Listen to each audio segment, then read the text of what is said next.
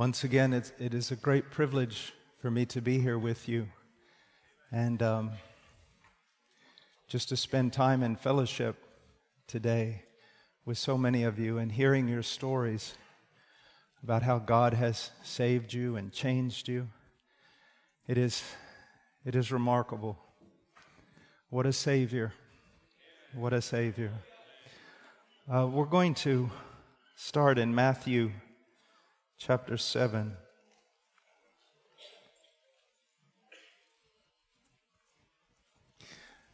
While you're turning there, I just want to share with you something that was in my, my devotional time this morning.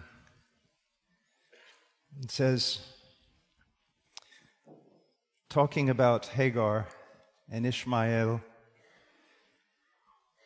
and of the son of the maid, God says, I will make a nation also because he is your descendant. Throughout Scripture, we see this. God delivers Lot because of his relationship with Abraham. David, because of him, so many kings were spared, and Israel was allowed to go on.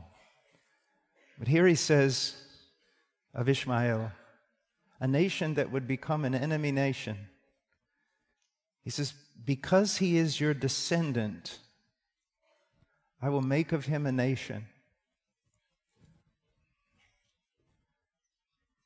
What will God make of you? You're aligned, attached to someone greater than David.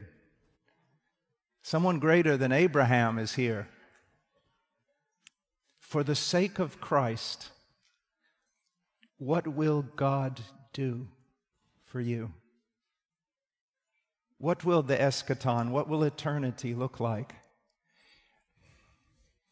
Ear has not heard, eye has not seen. This is the great pain of the prophet and the preacher because he knows that he can't even comprehend a tenth part or a hundredth part or far beyond that of the glory that awaits God's people.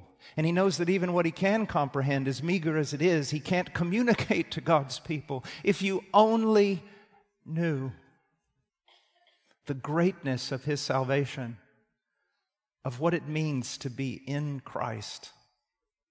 Oh, what a joy, unspeakable and full of glory, you would possess in ever greater reality. You are dearly loved. So let, let's go to Matthew chapter 7, verse 15. Beware of the false prophets who come to you in sheep's clothing, but inwardly are ravenous wolves. You will know them by their fruits. Grapes are not gathered from thorn bushes, nor figs from thistles, are they? So every good tree bears good fruit, but the bad tree bears bad fruit. A good tree cannot produce bad fruit, nor can a bad tree produce good fruit. Every tree that does not bear good fruit is cut down and thrown into the fire. So then you will know them by their fruits. Not everyone who says to me, Lord, Lord, will enter the kingdom of heaven, but he who does the will of my Father who is in heaven will enter. Many will say to me on that day, Lord, Lord, did we not prophesy in your name, and in your name cast out demons, and in your name perform many miracles? And then I will declare to them, I never knew you. Depart from me, you who practice lawlessness. Let's go to the Lord in prayer. Father, I pray that you will use this time for the benefit of your people.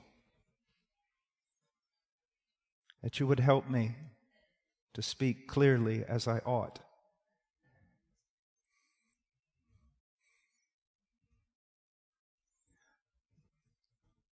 Our dependence upon you is great, O oh God. Please, for the sake of your Christ and for the sake of your people, help us. In Jesus' name. Amen.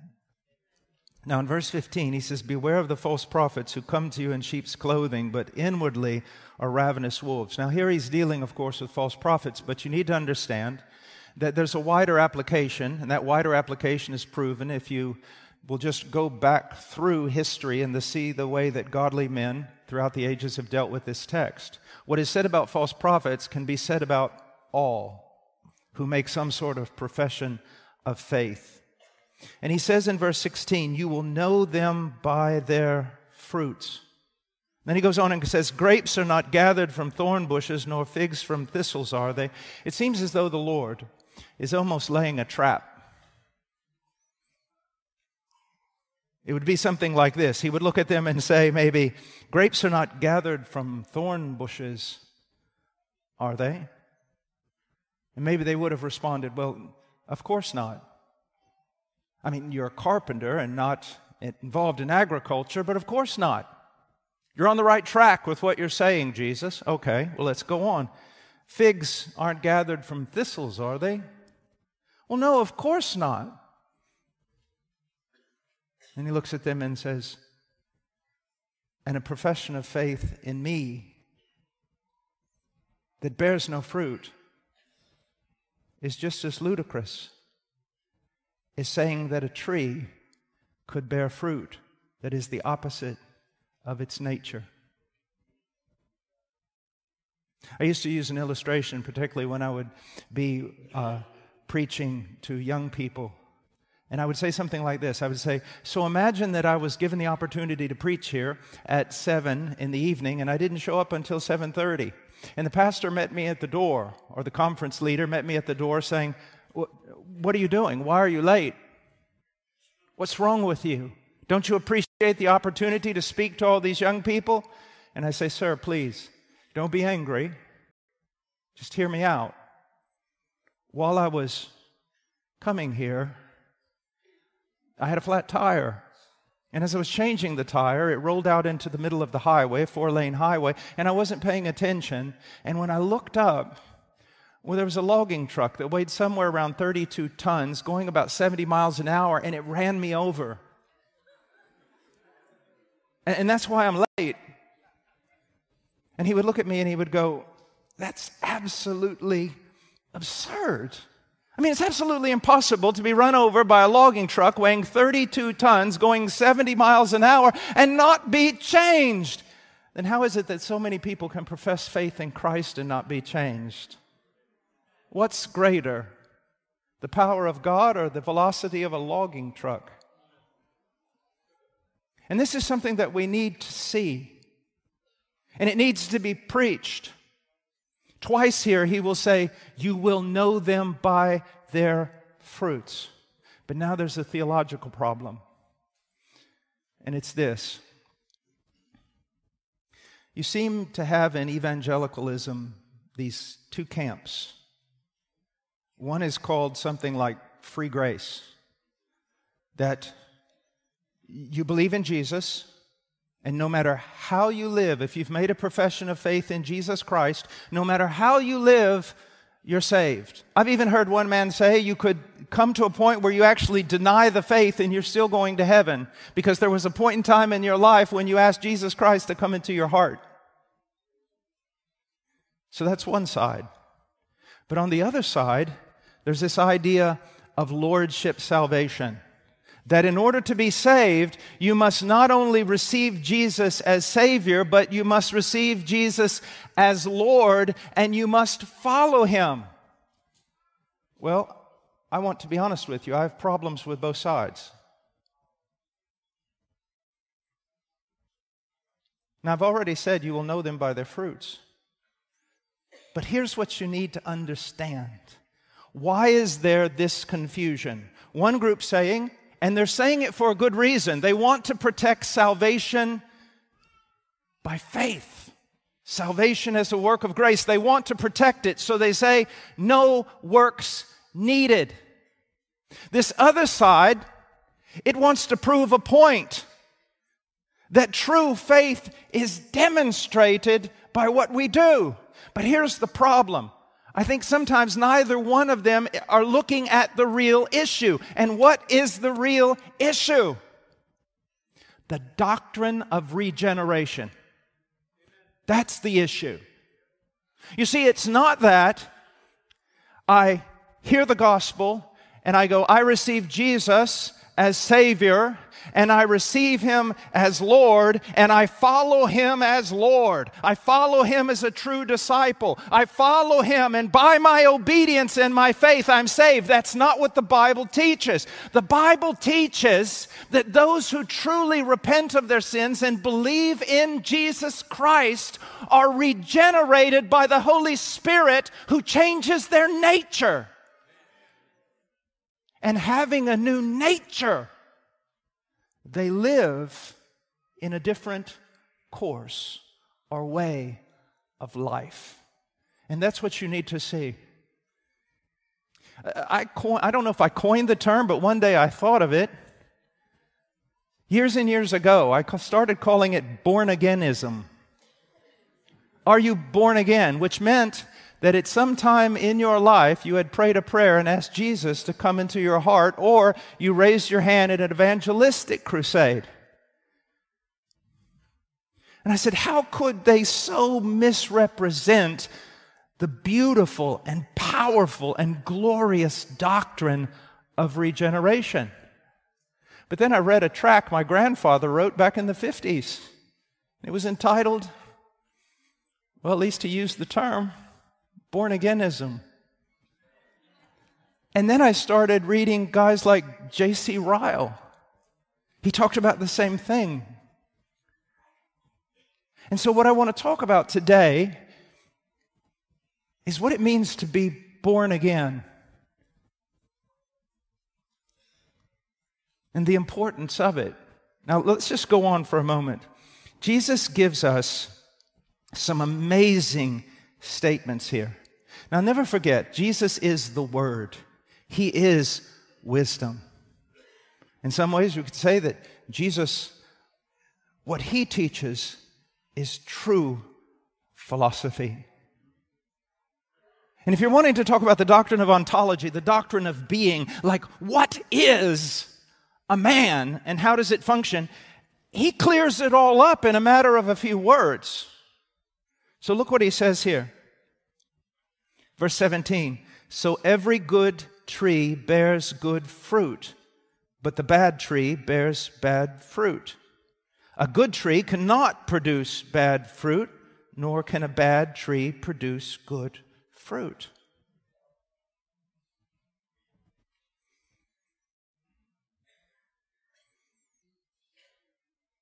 There was a German who wrote a book about this. It's called The Bondage of the Will. You see, what a thing does, how it acts, how it reacts, is utterly, totally dependent upon its nature. If nature is evil, deeds will be evil. And that's always going to be the case. Now, evangelicalism gets this half right.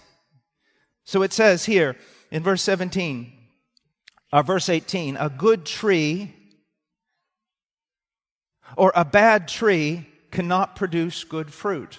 I hear it in evangelical preaching all the time. There's nothing good you can do until you've trusted in Christ. And then when you trust in Christ, you can do good things.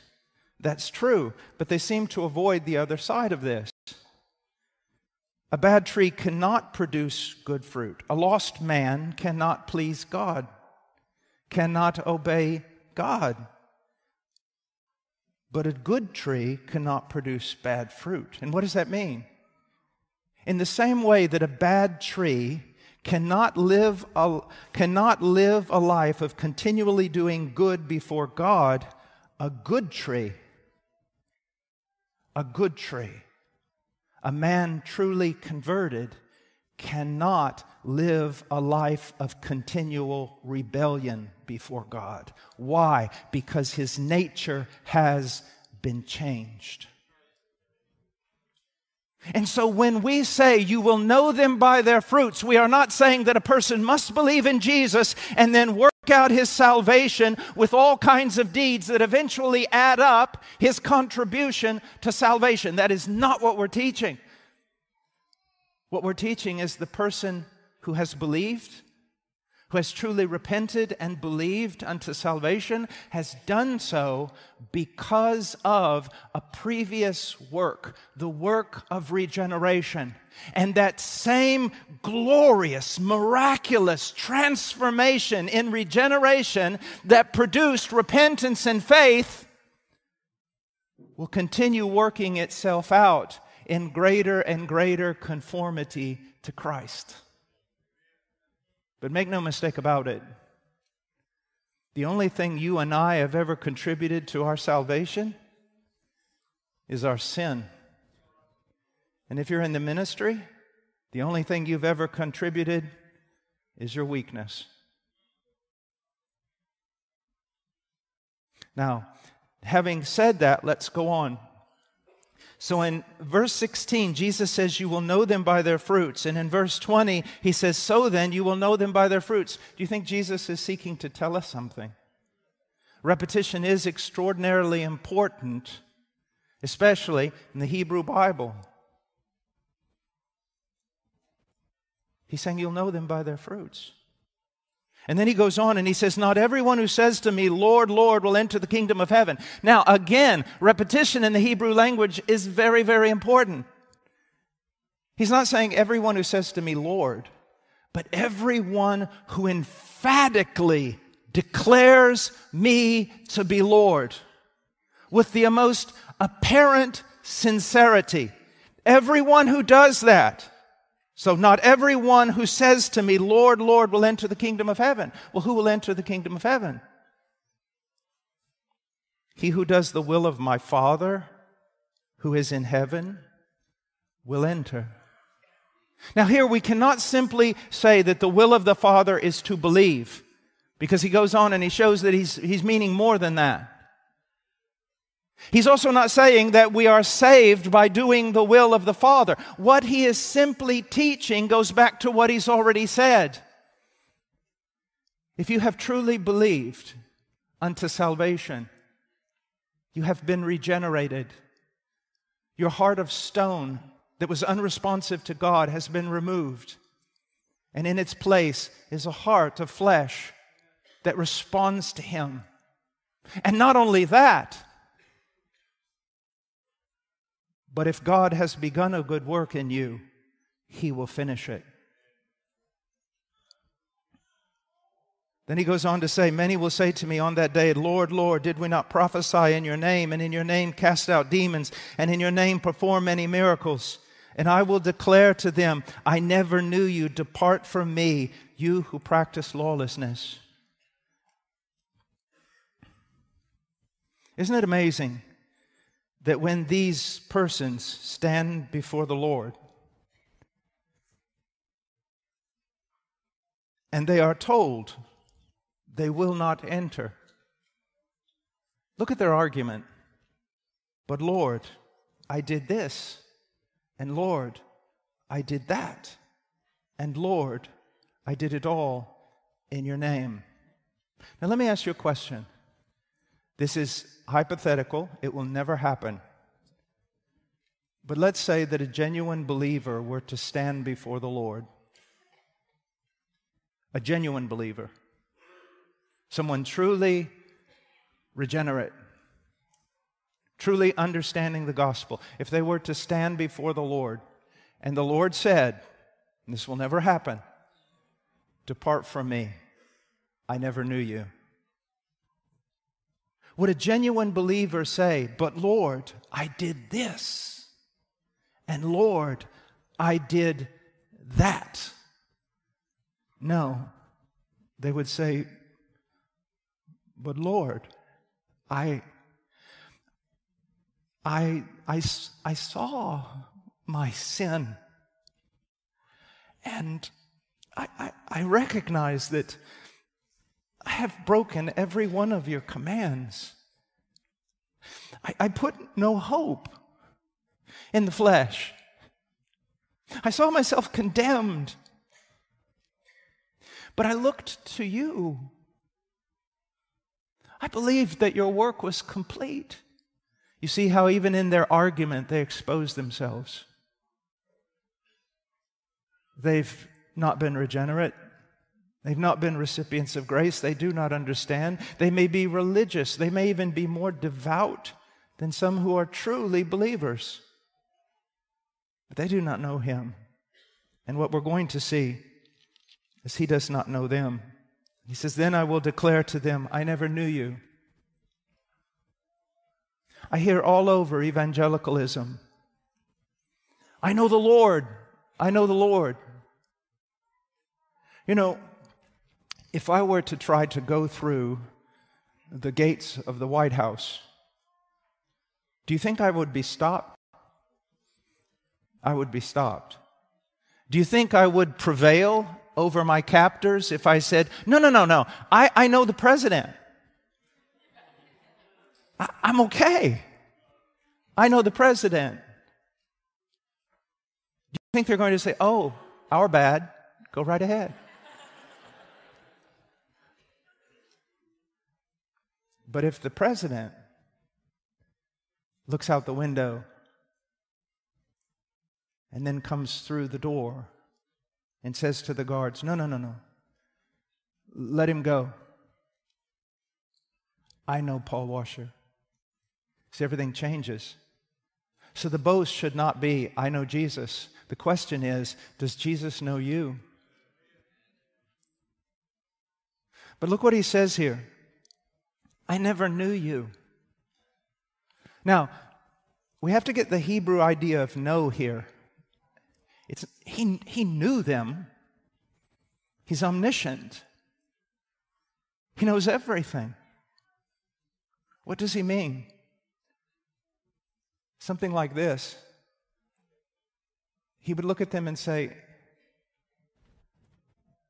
You and I, we didn't walk together. We didn't fellowship. You didn't seek my counsel. You didn't call upon my name for strength in the doing of righteousness. You, you, I never knew you. We had no relationship. Oh, my dear friends, he, he's not a ticket Many of the older writers, I don't know who originally said it, but they're right. The believer would rather be in hell with Jesus than in heaven without him. The true believer has a relationship with Christ. Walks with Him, talks with Him, is encouraged by Him, is rebuked by Him, is disciplined by Him. Do you have an intimate relationship with Christ? You know Him. Does he know you?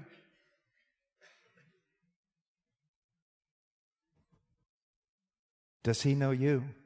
But rather, he says, I never knew you. Depart from me, you who practice lawlessness. Depart from me, those of you who claim to be my disciples, but you lived as though I never gave you a law or a command to obey. Whether your vice was ignorance or open rebellion, it does not matter. You walked on this earth as though I had never revealed my will to man.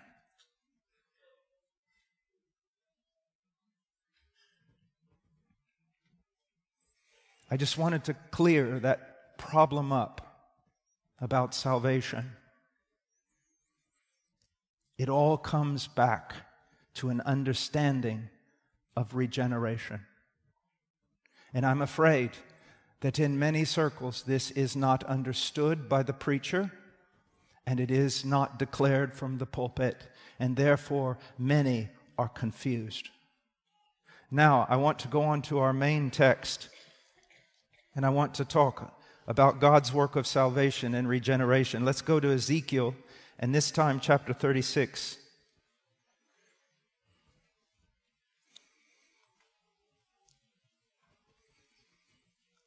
Verse 22 Therefore say to the house of Israel, Thus says the Lord God, It is not for your sake, O house of Israel, that I am about to act, but for my holy name, which you have profaned among the nations where you went. I will vindicate the holiness of my great name, which has been profaned among the nations, which you have profaned in their midst. Then the nations, this is the key part, the nations will know that I am the Lord, declares the Lord God, when I prove myself holy among you in their sight. Why does God save a people?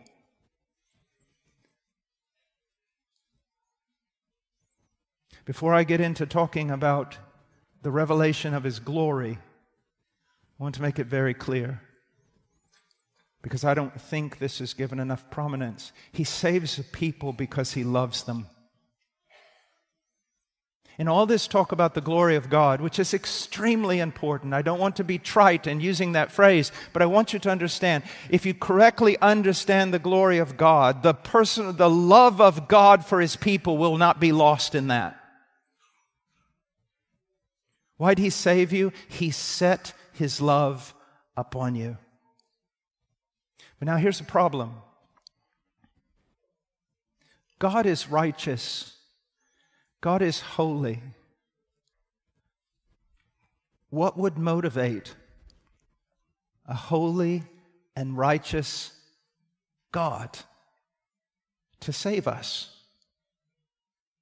We've already been through this all day yesterday about the sinfulness of man. Did God look at man and find a motivation in man to save man? Absolutely not. The only motivation that comes from man is condemnation. It's what man deserves. So, why does God save? Why does God love? For the sake of His own name, to reveal His glory, to demonstrate who He is, to take center stage, not only before men, but before angels, and say, This is what I'm like. This is who I am. Now, you can say, well, that sounds a little megalomaniac, doesn't it? No, actually, it's the kindest thing God could ever do. There is some ways in which someone's love can be demonstrated by the size of their gift, by the worth of their gift. What's the greatest gift that God could give men or angels. A revelation of Himself. I mean, heaven, I suppose, is a spectacular place, but after a while, I mean, swinging on gates of pearl get old. Walking down streets of gold, well, that was fine for a few days. We're going to be there for an eternity. What is glorious enough? What is infinite enough to capture our attention and enthrall us throughout all eternity that when we run as far as we think we can run into that kind of beauty, we find that we're just at the foothills of that Everest. It's God. The kindest thing that God can do for man and angel is to take center stage and show them who He is. And that's what he's doing in salvation. Through Christ, God is giving man the greatest revelation possible of himself, which means it's the greatest gift he could give. The gift that goes on and on and on and on. So, why does God save? Well, let's just put it this way Why did God save you? To demonstrate who He is, to demonstrate His love, His kindness, His mercy, his power. And you want to know what? For the saint, that is a that is a encouraging word. Why? If God has saved me in order to demonstrate all that He is to the universe, then He is not going to fail in my salvation. He is not going to fail. Now, go with me for a second, just quickly. Look in Numbers chapter 14. God places Moses in a position to function as an intercessor.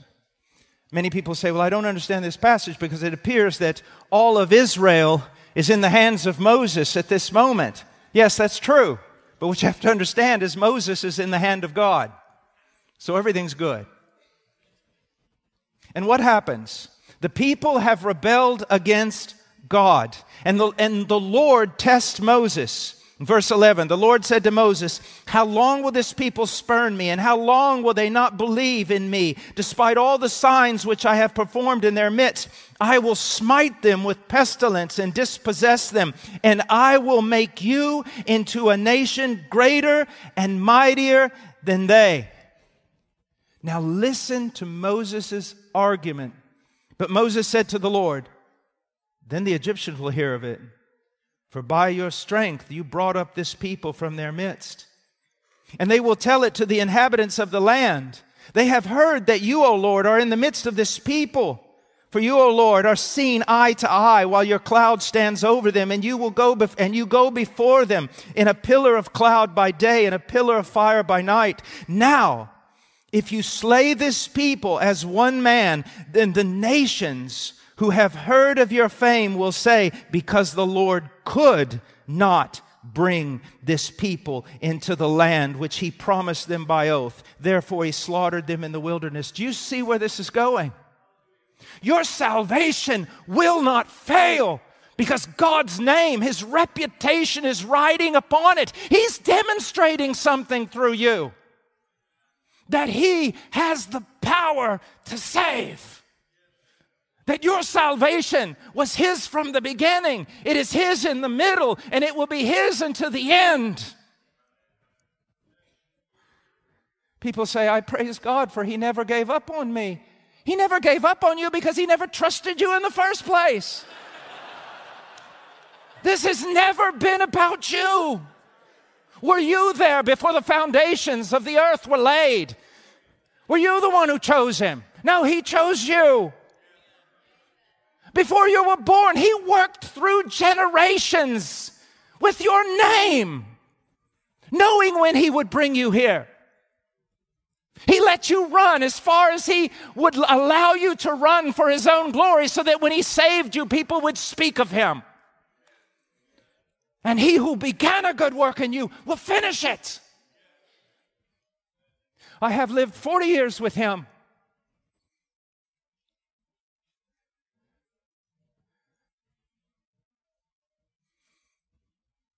And though I have failed him many times, I have done nothing that could weaken his arm. I have done nothing. No sin of mine has been greater than his love for me.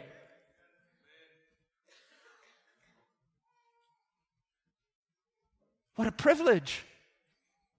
We have,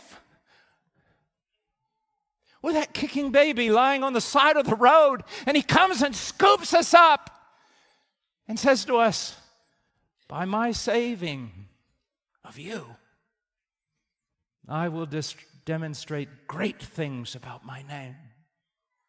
I will not let you go. So, why does he save us? For his own glory? If you've got a problem with that, there's no other reason for doing it. Now, let's go on. Now, look at his power to save. Look at his power to save. Look particularly at the singular pronoun, I. He says, For I will take you from the nations, I will gather you from the lands. I will bring you into your own land. I will sprinkle clean water on you, and you will be clean. I will cleanse you from all your filthiness. I will cleanse you from all your idols. I will give you a new heart, and I will put a new spirit within you, and I will remove the heart of stone from your flesh, and I will give you a heart of flesh, and I will put my spirit within you, and I will cause you to walk in my statutes, and you will be careful to observe my ordinances. Do you see this? Ah, if he gave 0.001% responsibility to me, I would have no hope. But he says, I'm going to do it. And you've read the law, you've read the wisdom literature, you've read Job. No plan of his fails.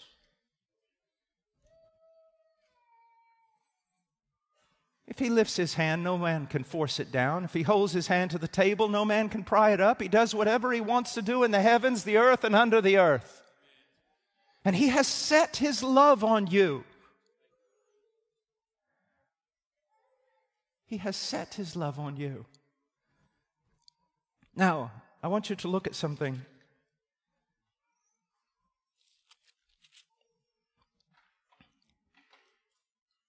Verse 24 For I will take you from the nations, I will gather you from all the lands and bring you into your own land. I, to the to the anger of my doctor and the concern of my wife, I spend too much time running around with people at conferences. It's because I'm selfish. I love hearing stories. His story you know, there's people here from all sorts of states, all sorts of backgrounds. There are people here from different countries. And look what he did he gathered you, he found you. I know of one little boy that used to be so afraid that he would hide out with the pigs and cry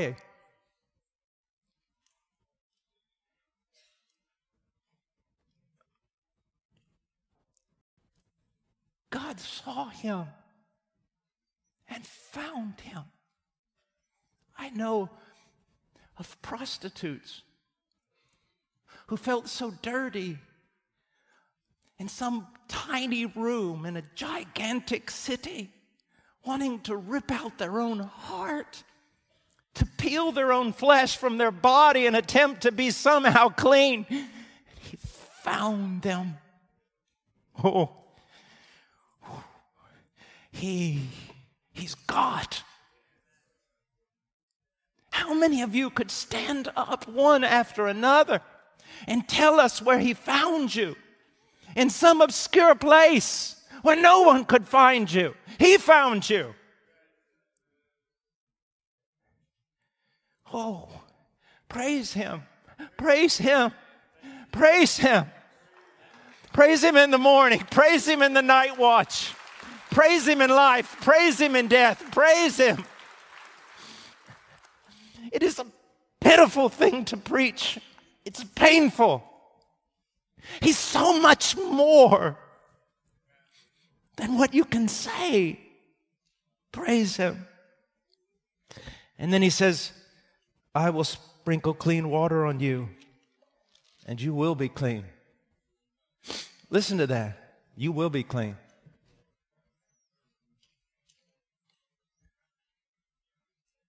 We can put into this the doctrine of imputation, but it goes farther than that. He's talking about, I'm going to work in you because he, he goes on and he says, I will cleanse you from all your filthiness and from all your idols.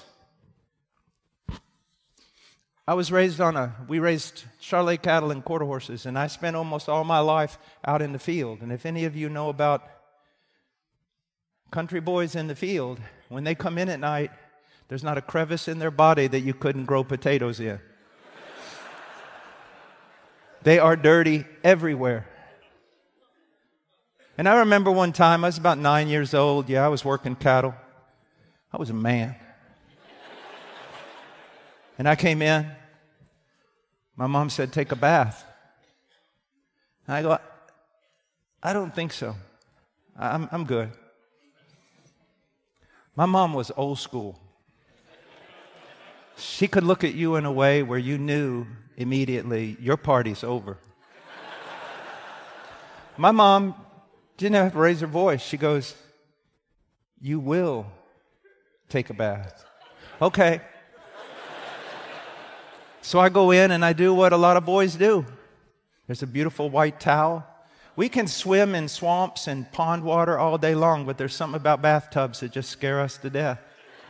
So I got in there and I turned the water on, and I'm like, and then I made the terrible mistake of grabbing that beautiful white towel, which turned rather soiled when I finished. Now, everything was going on just wonderfully. I was happy. Then all of a sudden, the door opened. My mom walked in. My mom could haul hay as well as any man. She could work the fields, she could work cattle, she could work horses. My mom's hand was like a horse rasp. For the millennials, you can just look that up in a dictionary. My mom's hand was a horse rasp. My mom grabbed me. I don't know how many layers of skin I lost that day. But I came out of there, well, I was shining. You know why? Because my mom said, You will be clean. Isn't it amazing that I had a mother that was much stronger than the God of most evangelicals?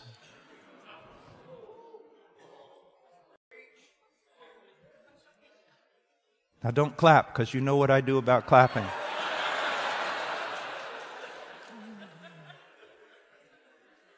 Just look at that. You see, he's doing this work, not just justifying, but sanctifying. He's cleansing. He's making a people for himself. And he's demonstrating his power. Through justification, yes, but also through sanctification. He's demonstrating his power. Now, there's something about sanctification that I want to say. It's an aspect of sanctification that hardly anyone talks about, and because of that, believers do not have the joy that they ought to have. So, let's say that this is a bar graph. When I became a Christian, I thought my sanctification would go something like this. But I have found my sanctification to go two steps forward, one step back, up, down. And honestly, I can tell you, I have not made the progress that I had hoped. But there is one aspect of my sanctification that has grown through the roof, that has shot up like a rocket. And it gives me great encouragement. And it has shot up like a rocket because I've grown so little here. What is it? My recognition of my utter dependence upon the grace of God. And I believe that's an aspect of sanctification. You see, He is concerned about you becoming more and more like Christ, but I believe He's more concerned with you seeing the work that He's done in Christ. And that again, the only thing you've contributed to your salvation is your sin. And there's only one hero in this story our elder brother, Jesus Christ, who accomplished absolutely everything. And it is his work on the cross that enables the work of regeneration. Because if he hadn't dealt with sin, there would be no such working among God's people. He says, I will cleanse you from all your filthiness and from all your idols. Keith Green had a song and uh, used to sing it to his son. Lord, he said, Son, I am weak and I'm trembling. For the Lord, I am always remembering. Oh, what a strong shepherd holds you in his arms. He will break you and make you his own. He will cleanse you from all your idols. It's painful. It's painful. But it's good. He says, Moreover, I will put a new heart and I will put a new spirit within you, and I will remove the heart of stone from your flesh, and I will give you a heart of flesh. What does that mean? Imagine that I had a, a statue here of a man made out of solid stone. I could pinch it, punch it, kick it, slap it, and what's going to happen? I could speak to it kindly. I could read poetry. And what's it going to do? Absolutely nothing. It, will be totally unresponsive to whatever stimuli I use, stimulus I use. Do you see that? Why? Because it's stone. It's stone.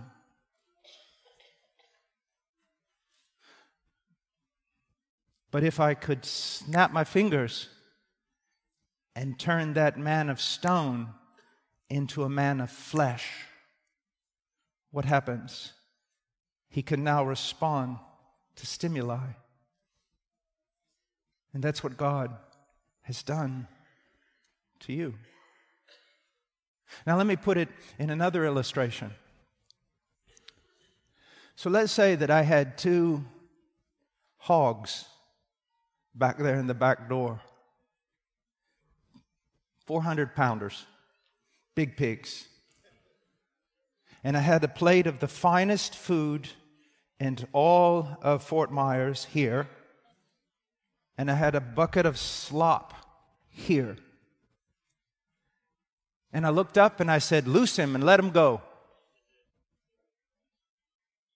And one of those pigs ran down the aisle. Where do you think the pig's going to go? He's going to go to the bucket of slop. Why is he going to go to the bucket of slop? Because he's a pig. That's what pigs do. They eat slop.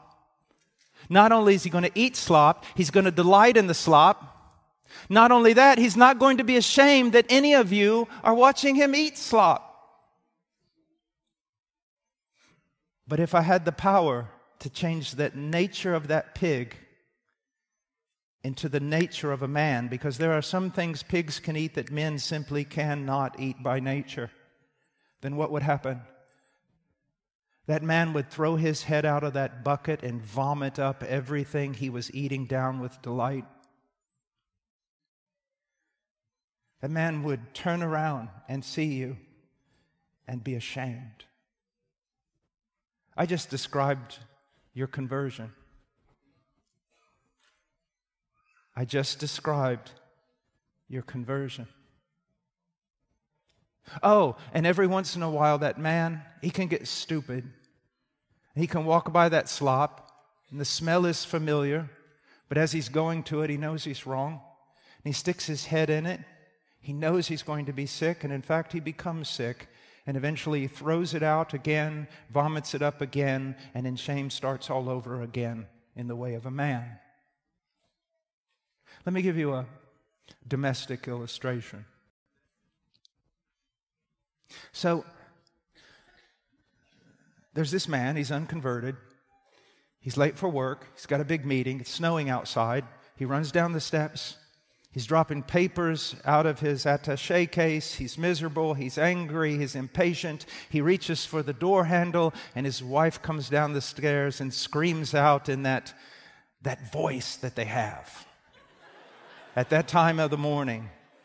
Says, Take out the trash. And he turns around without thinking. He turns around and he says, What do you mean, take out the trash? You take out the trash. I've got work to do. What's wrong with you? You're lazy. You never get up out of bed. He storms out. And you know what? He storms out feeling completely justified. Perfectly justified. Gets in the car, turns on the car, gets to the meeting, has the meeting, perfectly justified. Six months go by, and the man is converted. Six more months go by, and what happens? He's late for work. He's running down the steps. His briefs are coming out of his attache case, all his papers. He reaches for the door handle. He knows he's going to be late. He knows he's in trouble. And his wife goes, Take out the trash. And he turns around and he goes, You take out the trash. What's wrong with you? Can't you see I'm late? You're so lazy. You say, What's the difference? The moment he does it, it's like a knife goes through his heart. He knows he's wrong. He knows it. But let's say he bucks up, storms out of the house, gets in his car. He knows he's wrong. He knows it. He forces his way through. He goes into the meeting. He gets 10 minutes into that meeting and he says, Men, I, I, I need to go out for a moment and make a phone call. He goes out and he goes, Honey, I am so sorry. Please forgive me. I'm wrong. I'm so sorry. I sinned against God and I sinned against you. Why does he do that? A new nature. A new nature. And I wish I had time because this opens us up to a marvelous passage. And I just want to read a verse of it. Therefore, if anyone is in Christ, he's a new creature. The old things passed away, behold, new things come. Now, do you know why this text is so important? Because it talks about what I've been talking about, but then goes beyond it exponentially. You see, we read this passage and we take it so, it, it's like individual, you know? It means that if anyone is in Christ, they've been regenerated, they're a new creature. This passage does mean that, but the language indicates that it means far more than that. That it's saying something like this Therefore, if anyone in Christ, new creation, it doesn't just mean that you've been regenerated. It doesn't just mean that you've been given a heart of flesh. It means that you have now entered into a whole new realm of existence. The new creation, the new heaven and the earth, it's begun now in you. You're no longer in Adam, you're in Christ. And this thing that God has foreordained, that God has decreed before the foundation of the world, that is moving, moving with the greatest amount of certainty, now you've been brought into that.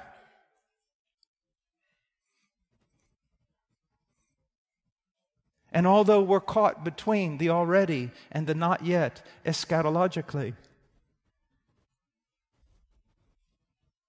we are new creatures. And little by little, we begin to live like new creatures. As we grow in our knowledge of the Scripture, as the Holy Spirit continues to work in us. And as Brother Voddie said last night, every aspect of our life, we begin to tend it like a garden. Our personal life, our marriage, our children, our work, everything, so that we are the light of the world, the salt of the earth, demonstrating. Why do we want to grow in Christ? Why do we want to become more like Him? It's not to win some merit badge at the end. It's that His power his character might be demonstrated through us. And our prayer is, Oh Lord, let it never be said of me that your name is blasphemed among the Gentiles because of my life, but let it be said that even those who hate you and hate me cannot deny the power you have worked in my life. Let's pray. Father, thank you for your word. Thank you for who you are. And thank you for what you've done for your people. Oh God, bless them, Bless them, bless them. Oh God, if I, being evil, can bless my children,